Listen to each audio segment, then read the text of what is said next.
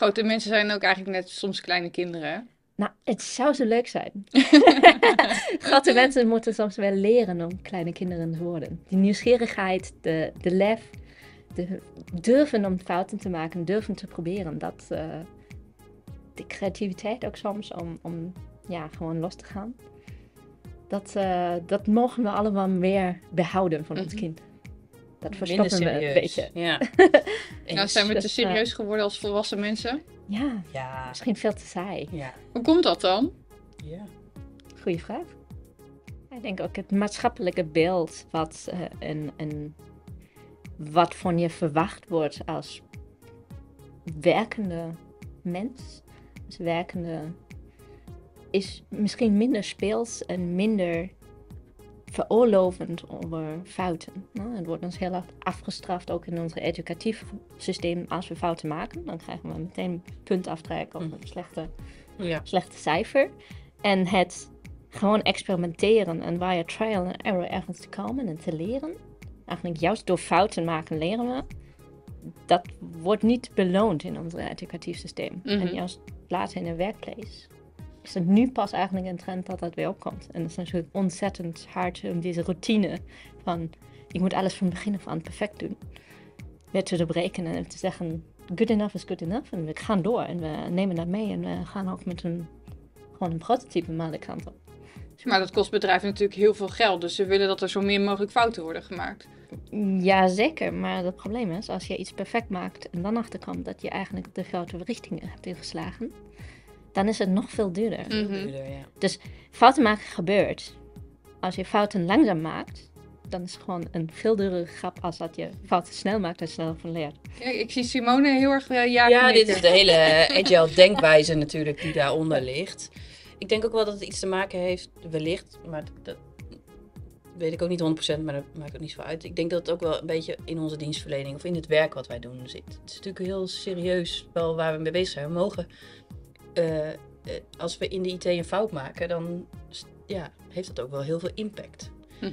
Ehm, in ons bedrijf, maar waarschijnlijk ook in de bedrijven waarbij jij komt. Het is wel eh, serieus als er een security item of zo eh, ergens Nou, geraakt wordt. Ik Ja. werk nu voor de politie als Mhm. klant. dus ja, er staan ook echt mensenlevens op, straat, Ja. als, op speel als er gegevens op straat komen. Dus er mogen in bepaalde omgevingen geen fouten gemaakt worden. Maar daarom is het juist zo belangrijk om iets te durven in een omgeving die wel safe is. Ja. Dus dat hebben we in de IT ook. En dat hebben sommige andere, zeg maar, beroepsvelden niet. Nee, je kan geen operatie uitvoeren waar je zegt, nou, daar sterft niemand. maar je hebt wel een, een eh, probeeromgevingen en afgeschermde sandboxes in de IT, waar je dingen ook gewoon helemaal tegen de, ja, helemaal in elkaar kan laten storten, zonder dat er iets gebeurt. Nou, als je, dat is het mogelijke in IT. Je mag hier omgevingen opdagen, eh, plekken creëren waar je fouten kan maken. Ja, in een acceptatie of in een testomgeving bijvoorbeeld. Ja, Ja. Kun je iets vertellen over eh, jou als in, eh, nou, wat voor werk doe je? Hoe ben je daar terechtgekomen? Eh wie is Simone Storm? Ja, dat kan ik wel. Ehm, ik werk 17 jaar bij Achmea. En ehm, ik ben eigenlijk altijd een beetje gegroeid van het een naar het ander. En ehm, de laatste 10 jaar eh, als leidinggevende eh, van de verschillende IT-teams. Ja, en nou ja, uh, Achmea is natuurlijk best wel een groot bedrijf, maar daar zit ook een heel groot IT-component in. We doen heel veel zelf weinig, uh, uh, nou dat komt wel iets meer, maar we hebben eigenlijk ja, veel uh, technologie die we zelf onderhouden en zo. En um, dat heb ik ongeveer tien jaar gedaan. En toen dacht ik, ja, dat kan ik nog een keer gaan doen. Maar um, ik vind het eigenlijk ook wel leuk om nu eens weer wat anders te doen. Ik denk dat ik dit kan. En als ik dat nu nog een keer ergens anders ga doen, dan kan ik dat ook nog wel een keer. Maar ja, uh, ben wel weer bereid om uh, ergens anders in te springen. Dus toen uh, ben ik een beetje gaan scrollen door de vacaturebank. En toen kwam ik deze functie tegen. Nou, gesprek gehad. En toen ben ik gestart als transitiemanager binnen IT. En um, wat houdt het dan in? Um, eigenlijk als ik naar de organisatie kijk, en dan met name de IT-organisatie, denk ik dat het een eh, organisatie zou moeten worden als je in de toekomst kijkt, waar iedereen ehm, zo flexibel mogelijk en met elke verandering om kan gaan. En ehm, nou ja, dat is best wel eh, een hoger doel, denk ik. Mhm. En ehm, ik hoop een kleine bijdrage te leveren aan eh, dat bedrijf, eh, ja, stapje voor stapje daar naartoe te helpen.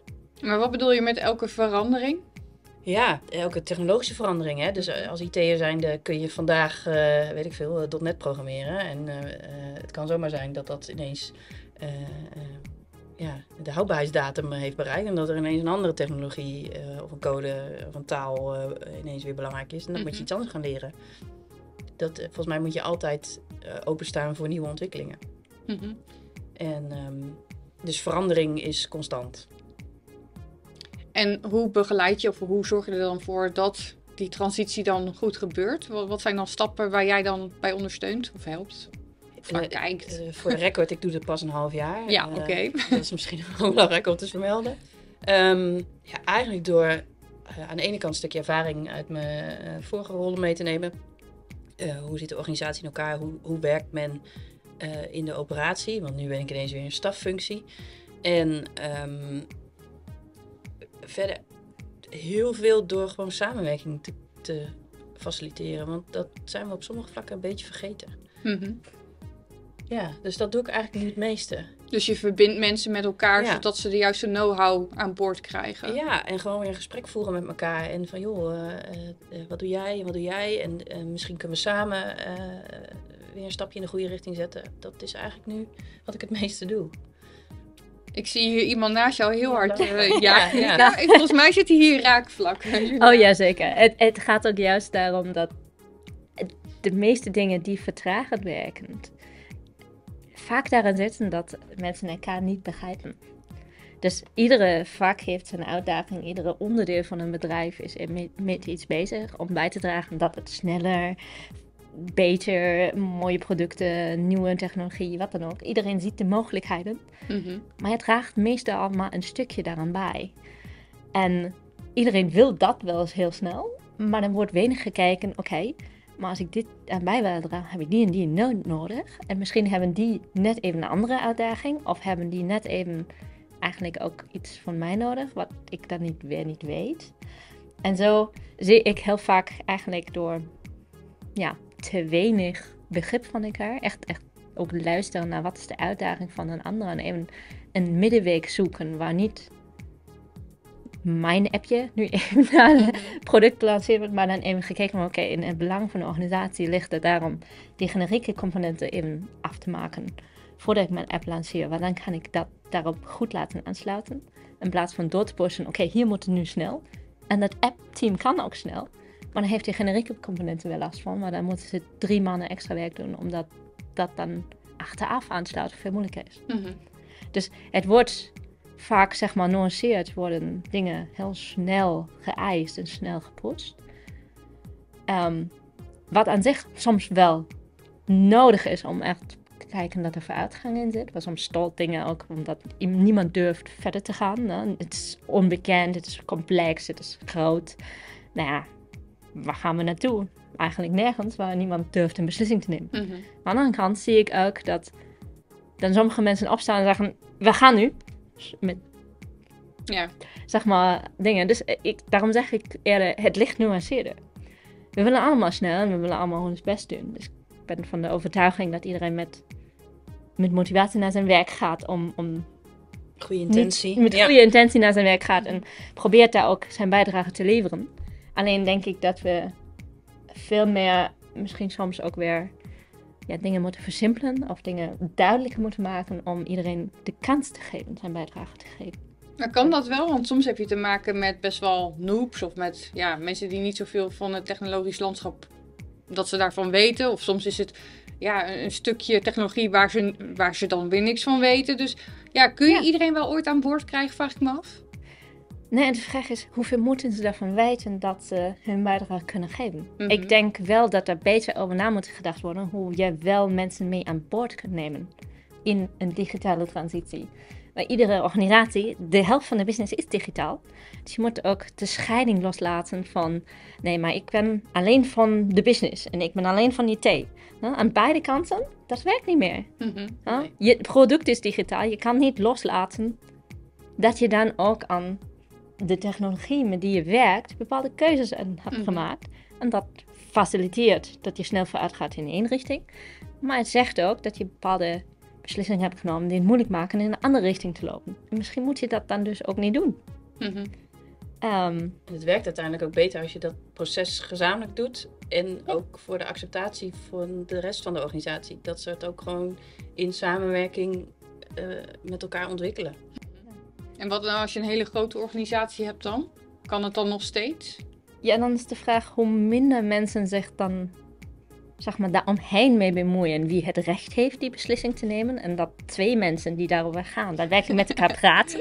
Ja. zou veel oplossen.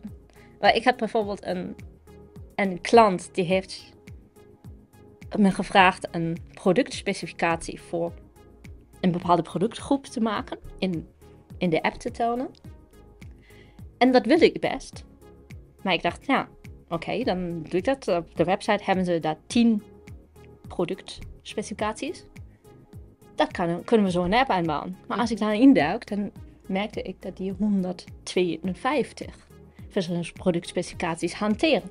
Hm. Waarvoor nog producten bestaan die eigenlijk al lang uit de veld getrokken zijn, maar waarvoor nog contracten lopen en waarvoor nog dingen onderhouden moeten worden. En dan zeg ik, dat is hartstikke aardig, maar als we die allemaal in die app trekken, wordt die app eigenlijk bijna niet meer onderhoudbaar. Zwaar. Ja. Het wordt heel zwaar. En dan duurt het ook vijf maanden in plaats van die ene Mhm. om dat daarin te krijgen. Beginnen En we dan- maar eens met één. Dan kunnen we met één beginnen. Ik heb ook gekeken hoeveel het gebruikt wordt. En dan heb ik gezegd, nou weet je, ehm, volgens mij 80% van de gebruikers, als we die afgedrukt, dan hebben we al waarde. Dat is één manier. Maar een andere manier is, ik heb geprobeerd dat gesprek aan te gaan. Hey, kunnen we mensen niet verleiden in plaats van die 152 oude contracten? Dat ze gewoon overstappen op een nieuwe. Maar het heeft zoveel meer voordelen. Dat is niet de enige functie Mhm. waar we daar tegenaan lopen. We willen nog veel meer functie over die productcategorie Mhm. heen gooien. Daar lopen we dus iedere keer tegenaan. Dus kunnen we het gesprek hebben over hoe we die productvariatie kunnen verkleineren. Nou, dan is me heel snel gezegd, dat is geen IT-beslissing. Nee. Ja, maar het heeft ontzettend veel impact op Ja. IT. Mhm. Dus als we dat gesprek niet aanmogen en begrip kunnen kweken in, in, in de businesskant vanuit IT, hey, die variatie die kost ons ontzettend veel geld als organisatie. Dus En die kost jullie eigenlijk de tijd om nu een functionaliteit voor elkaar te krijgen. Waarom kunnen we daar ons niet in het midden in vinden en nou nadenken wat is een slimme oplossing voor de hele organisatie, Mhm. business en IT-kant? dat de, gesprek moet we wel plaatsvinden. ja, maar neemt de business dan de IT-afdeling wel serieus genoeg? is vraag.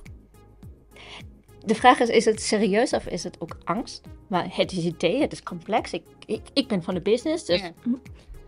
En het is aan zich niet vaak een IT-vraagstuk. Hoeveel productvarianten ik onderhoud als organisatie is geen IT-vraagstuk. Mhm. De consequenties die eraan hangen, die hebben impact op IT, maar die hebben ook impact op business. Mhm. Dan kan je wel discussiëren met iemand die over die productvariaties gaat. Dat vind ik wel dat bij de functie hoort. Ja, en het is ook super herkenbaar hoor. Ik herken dat ook. En dat zit ook vaak in het proces wat daarvoor, zeg maar, eh, ja, niet aangepakt is. Hè? Dus als je wel al eh, je processen of je producten wat eh, rationaliseert in deze ook, ja, dan wordt het voor de IT makkelijker. Overigens denk ik dat het ook andersom. eh, IT neemt business ook niet altijd Mhm. serieus. Dus dat werkt twee kanten op. Het zou eh, voor de liefde samen eh, beide kanten wel Ja. eh, wat meer naar elkaar toe mogen. En hoe kunnen En- we dat oplossen dan met z'n allen? Wereldvrede, ja. Ja. Ja, maar eh, het ligt ook aan IT om consequenties duidelijk te maken zonder te veel techjargon Mhm. erin te zetten. Ik kan best zeggen, hey, als je 150 stuks moet onderhouden, dat kost gewoon geld. Ja. Iedere wijziging aanpassen moet je 150 keer doen in plaats van 10. Dat, daar heb ik geen techniek voor nodig om dat uit te leggen. Mhm. Dus ze hebben eigenlijk een woordenboek voor elkaar nodig. Van, nou ja, wat bedoel je nou eigenlijk? Ja. Gewoon praten met elkaar daarover, inderdaad. En die, die consequenties delen, dat, dat helpt denk ik wel heel erg. Begrip voor elkaars situatie. Mhm. En oprecht die persoon mogen aanspreken vanuit IT Mhm. aan de businesskant. Om daar gewoon met elkaar het over te hebben en te verkennen wat er mogelijk is. In plaats van, nee, wacht even, dat is business domein. En wacht even, dat is mijn IT-domein. Mhm. Also, dat, dat, dat koninkrijkjes loslaten. Ja. Hey, beste luisteraar, dit was hem weer. Woensdag weer een nieuwe aflevering. Dan hebben we het over de IT en ethiek. Met de razendsnelle softwareontwikkelingen van dit moment lijken grenzen soms te vervagen. Gaan we niet te snel. We bespreken het in aflevering 3 van de TechGirl podcast. Graag tot dan en vergeet je in de tussentijd niet te abonneren op de podcast via Spotify of jouw favoriete podcastmedium. Ciao!